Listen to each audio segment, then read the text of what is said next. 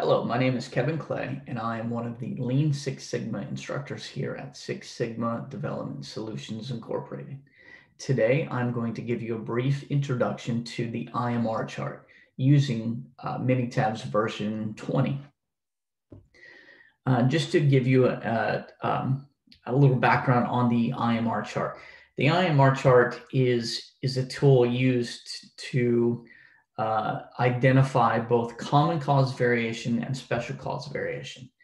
All right, it's, it's used to identify if there's abnormal variation happening in the process.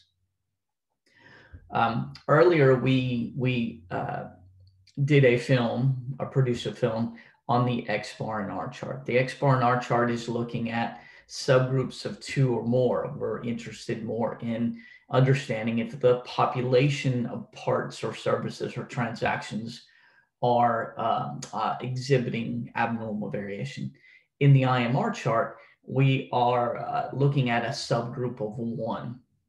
Okay, in this case, we are looking at the individual unit if the uh, to see if the individual part or service or transaction uh, is exhibiting abnormal variation. Uh, again, the IMR chart and the XBAR chart are, are, there to show us um, uh, common cause variation versus special cause variation. So uh, the data that you're looking at here is uh, from a fictitious project uh, that we provide to both our green belts and black belts in their initial training. Uh, this fictitious project follows a fictitious company called Peanut Butter and Jelly Inc. Um, they have uh, uh, set some green belts on uh, uh, a problem. The problem is um, the fact that their their peanut butter and jelly sandwiches that they make, you know, hundreds of thousands of um, every day there is uh, it costs too much. It, the uh, cost for those peanut butter and jelly sandwiches are rising, uh, and they're rising past their forecasted cost. So uh, something is wrong in, in the process. Uh, although they don't know what it is, that's why we're using Lean Six Sigma really to understand. So this fictitious project follows uh, this problem-solving process from uh, define all the way through control in the DMAIC process. Uh, in this case, we're looking at, um, uh, in the measure phase, we're looking at, is there a, uh, is there abnormal variation in, in the cost of um, uh, making our sandwiches? So uh, you'll see here we've got two, we've got two different columns. Uh, we're going to be focused on the cost of the unapproved process. This is where we're going to look at the baseline um, uh, ability to control the process and look, look and see if there's abnormal variation in that cost. Right, so I'm going to show you how to do that. We're going to use the assistant. The assistant um, is uh, Minitab's tool that makes statistical analysis very easy for us. Um, we are going to move down to control charts. Uh, and then you'll see here, there's a number of control charts. Uh, we are going to use the IMR chart. All right, you'll see here that it says data collected in subgroups. No, um, this is a subgroup of one, so we're going to use the IMR chart. Uh, IMR stands for individual moving range chart. Uh, you'll see here that I've already got it filled in. Um, the data column that we are going to evaluate is the cost of the unapproved process. Uh, it uh, gives us two options for uh, estimating or determining the, the control limits or the center or, and the center line. We're, we're going to estimate that from data. You do have the ability to put you uh, known values in. Uh, there is a benefit to that um, if if you uh, reflect what the real control limits are uh, consistently to to put these control limits in once and set them and forget them uh, a lot of companies fall into this trap and our control limits uh, don't represent what, what the actual control limits are. So therefore, the you know uh, the data that they're looking at is actually lying to them in most cases. So we are going to estimate from the data. All right, so this this looks at the actual data and estimates the uh, upper and lower control limit uh, and the center line from, from the actual data. Okay, we'll hit OK uh, or uh, click on OK.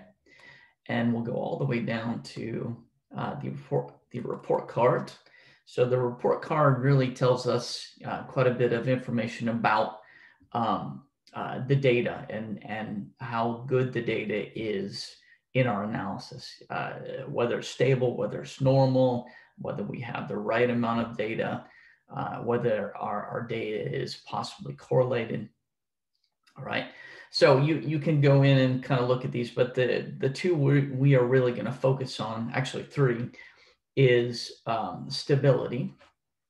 Okay, I'll show you what that is. Um, uh, and the rule that we follow, it's called a WECO, uh, rule. There are actually eight WECO rules uh, and uh, normality. So normality is, you know, does this fit in a normal distribution? And then we get into the amount of data. All right, so th this will show up in some of the other graphs that I'll show you.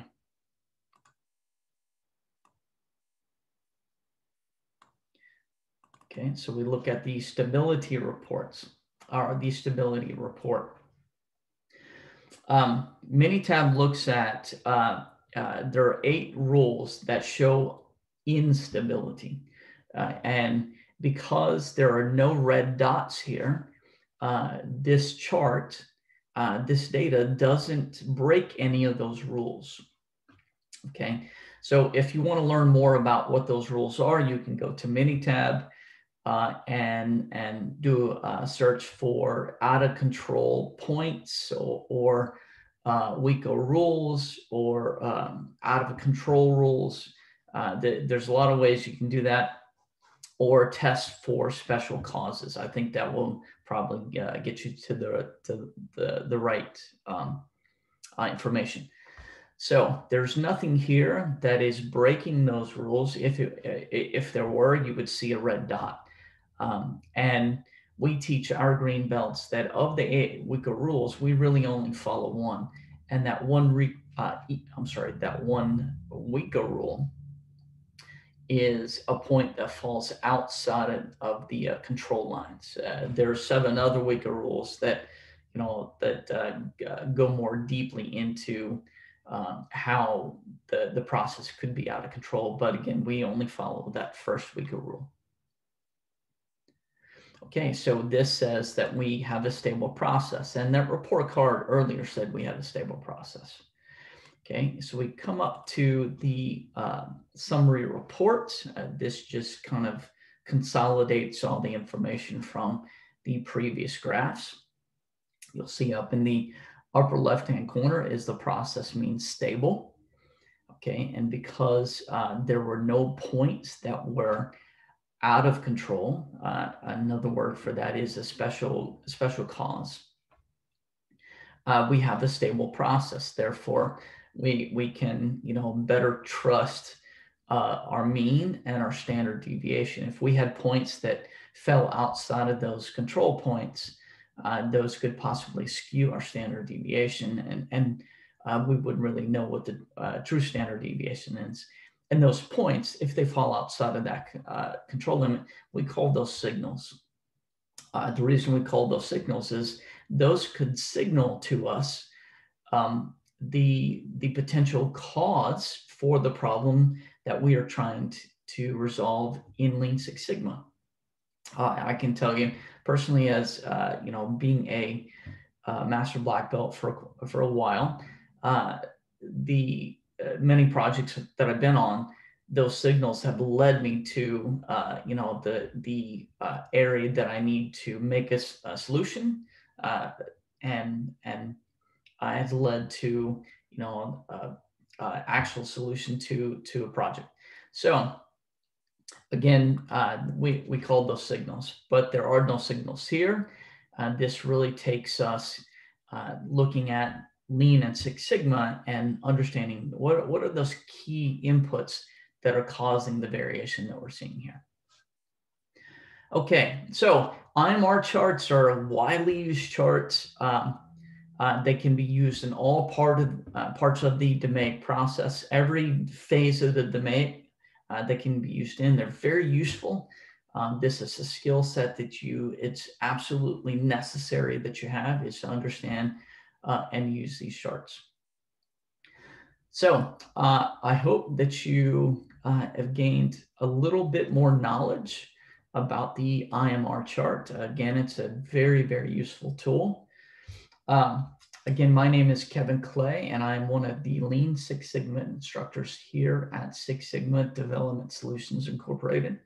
Uh, if you have any questions, please do not hesitate me uh, my email, uh, which is kclay at sixsigmadsi.com. I will put that information down in the uh, description of this YouTube video. Um, and I hope that everybody uh, has a wonderful day. Thank you.